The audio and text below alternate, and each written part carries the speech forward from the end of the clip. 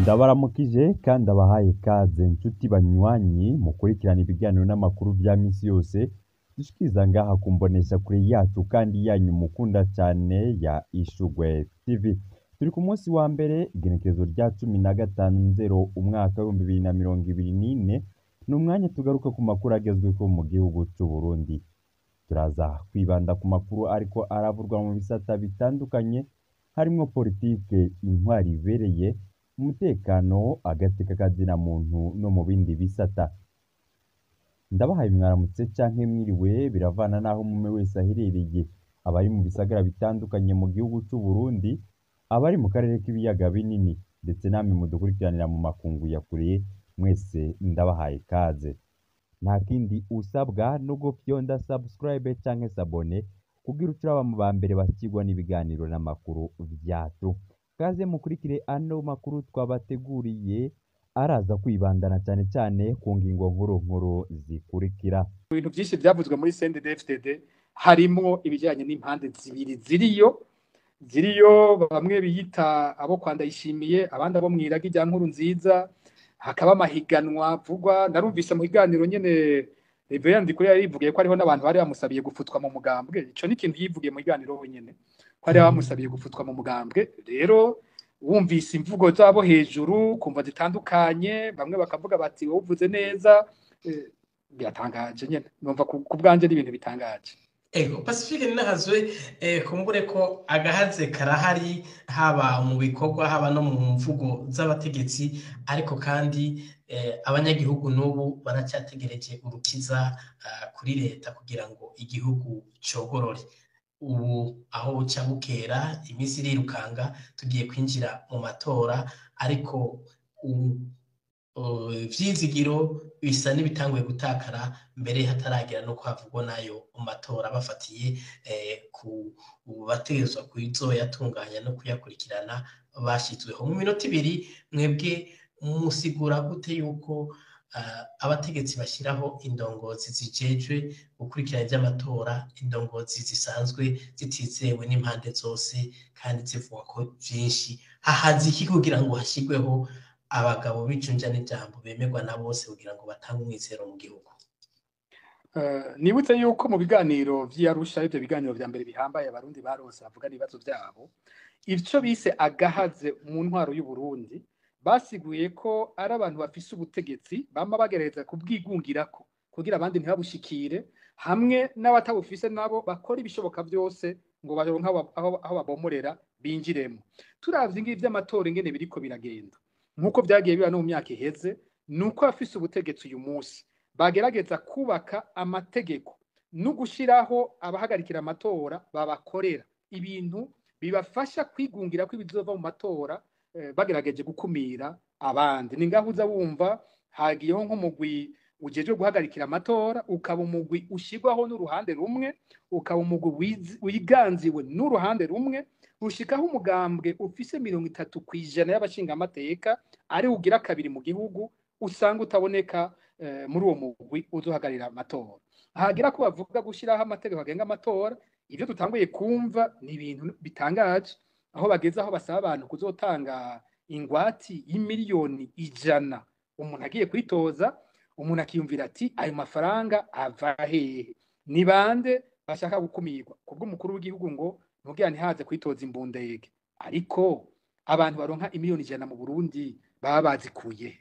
Haba hakwiye kuba amatohoza kuri ivyo ukabona ibitanguye kuvuga vy'ingoro za CNL zibomorwa mu gihugu tukumva imbonerakure zigenda gutera ubwoba mu ngo z'abatavuga rumwe n'ubutegetsi nk'ivyabaye kuri Fabiano umushingamateka Fabiano bakijya nino ni ibintu bitanguye gutera ubwoba ariko twamaze kubona atari ubwa mbere bije eh, ku buryo atacizere kinini ku bizova mu matora azokurikira kiriho uravye ko biko biragenda. Biva kuki ubwoba bw'abafise ubutegetsi batinya kubutakaza.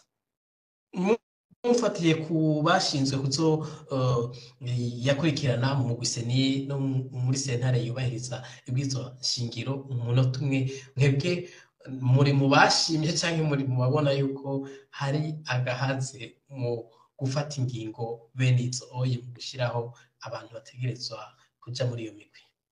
Mu ihiganwa ryose ikintu cya mbere kiba gihambaye ni uko baravuga mu Burundi nk'umusifuzi byumva mu butegetsi bavuga uko uwuhagarikira urukino aba ari umuntu yizigiwe na bose. Ubonye seni itwagwa n'umuntu yahora ari umuvugizi wa leta umunyamanga mukuru wa leta eh, Prosper Ntawugwamiye yari amaze kwiyamirizwa inshuro nyinshi mu bijyanye no kurongora seni ukabona Procureur General Sylvestre Nyandwi yavuzwe cyane mu gupfunga abatavuga rumwe n'ubutegetsi yavuzwe cyane mu kutumviriza aba CNL n'abandi ukumva ubu naho ni we agiye guhagarikira amatora. Uravuga uti none ubu agiye gukorera neza bamwe yahora yirirwa arapfunga adashobora kubumviriza. Mbega bo barashobora kumwizera ukabona eh, batwaye nko muri sentare yubahiriza ibwirizwa shingiro bateruye umuntu yirirwa aratukana.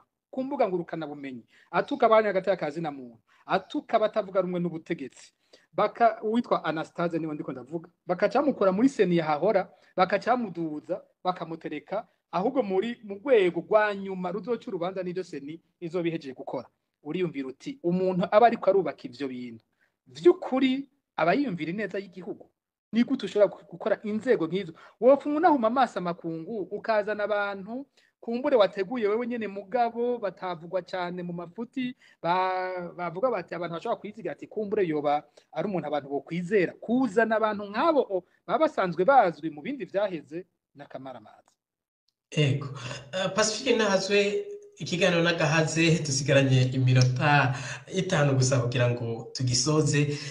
Kino kiganiro kiri mu migambi twabonye mwandika ku mbuga uh, ngurukanabumenyi mu migambi fokode izorangura hanyuma ni igikorwa mukora kandi mukabandanya ariko tubona yuko abo mubwira batumva kandi hariho amaradiyo n'abanyepolitike bategerezwa gukora mwene ivyo bikorwa. Ku bwanyu kubera iki abanyepolitike uno munsi bari mu gacerere hanyuma kubera iki eh, mubandanya icyo gikorwa abandi basa n'uko bacitse intege? Eh, murakoze? Mu bintu eh, bit- bi- bituma dutegerezwa gukora bino bintu ni akamu duterwa n'abanyagihugu. Wumvise umunyagihugu ariko ararira. Eh, mu kanya na- navuze nka bijya ibibazo by'abasirikare. Ukumva umupfa- umupfasoni arajya akubwira ati jewe umugabo wanje naherutse bambwira ko yarashwe nararindiriye mu gisirikare ko bambwira narabuze uwundi akubwira ati jeho barampamagaye ngo nje guhamba mu nyuma ngo subira inyuma n'ubu ntacyo barasubira kumbwira sinzi umugabo wanje. By'ukuri byamubayeko uwu- uwundi ati abanje barapfunzwe. Uwundi uwanje bamunyuruje hirya no hino ugasanga dufise abanyagihugu bariko bararira. Baje kukwitura ntushobora ufise umutima wo gukunda igihugu cyawe ntushobora kubihagarika. Rero icya mbere kidutuma turonka izo nguvu ni uwo mwizero abanyagihugu badufitiye tugira tuti ko twizewe reka eh, tubafashe ivyo bikorwa. Icya kabiri eh, urambagije uti agahaze ni umwe mu migambi fokode ifise muri bibiri na mirongo ibiri na kane. Nivyo eh, muri bibiri na mirongo ibiri na kane dutegura kubandanya igikorwa cyo kurondeza abanyuruzwa duciye kuri ndondeza n'ikiganiro cyitwa ndondeza dusanzwe bijyana. Hariho igikorwa cyo kurondera kwerekana no gushyigikira abantu bitwa impahazwa.